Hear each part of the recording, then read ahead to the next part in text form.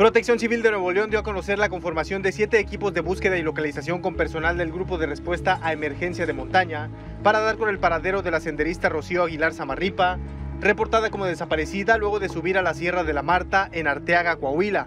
La corporación informó que este operativo contará con el apoyo aéreo de tres helicópteros del gobierno de Coahuila. En un corte hasta la mañana de este lunes, se dio a conocer que las labores de búsqueda son conformadas por 56 elementos, 31 senderistas y 21 rescatistas. Además, participan en este operativo Protección Civil Estatal, Protección Civil de Arteaga, Protección Civil y Bomberos de Saltillo, Policía Municipal de Arteaga, Comisión de Búsqueda de Coahuila y la Fiscalía de Desaparecidos. La corporación también dio a conocer que se mantiene el contacto con los familiares de la mujer habitante del municipio de Guadalupe. Rocío Aguilar Zamarripa fue vista por última vez el pasado 8 de octubre cuando practicaba senderismo junto a familiares en la zona de la Sierra de la Marta.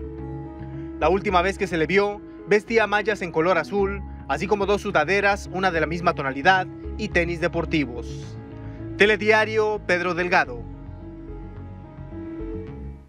Y por su parte, Protección Civil de Arteaga, Arteaga Coahuila dio a conocer que, bueno, se han localizado, no se ha localizado todavía ningún indicio de que ayude a dar con el paradero de esta senderista de nombre Rocío Aguilar. Escuchemos. Al concluir el tercer día de labores en la búsqueda de la senderista, Rocío Aguilar Zamarripa reportada como desaparecida tras subir a la Sierra de la Marta, en entrevista para Telediario, Leonel Martínez Mata, director de Protección Civil de Arteaga, Coahuila, informó que no localizaron ni obtuvieron alguna pista de la mujer. Además explicó que las condiciones climatológicas no han sido favorables para la localización. Culminando las actividades del día de hoy, eh, debido a una fuerte eh, neblina muy densa acá en la Sierra de Arteaga, eh, y desafortunadamente no tenemos ninguna noticia eh, de que hayamos encontrado alguna pista, alguna señal que nos que nos dé con el paradero de esta persona. Aunque mencionó que las labores de búsqueda se han reforzado, no han obtenido alguna información que pueda dar con el paradero de la senderista.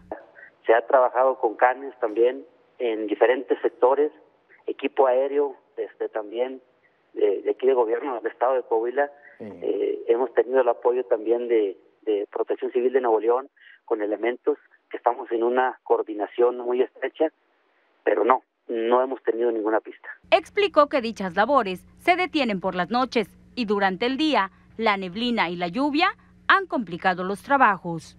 Eh, debido en la noche no podemos trabajar debido a que eh, el lugar se, se llena de neblina y es muy poca la visibilidad que se tiene a corto a un corto, este, escasos metros.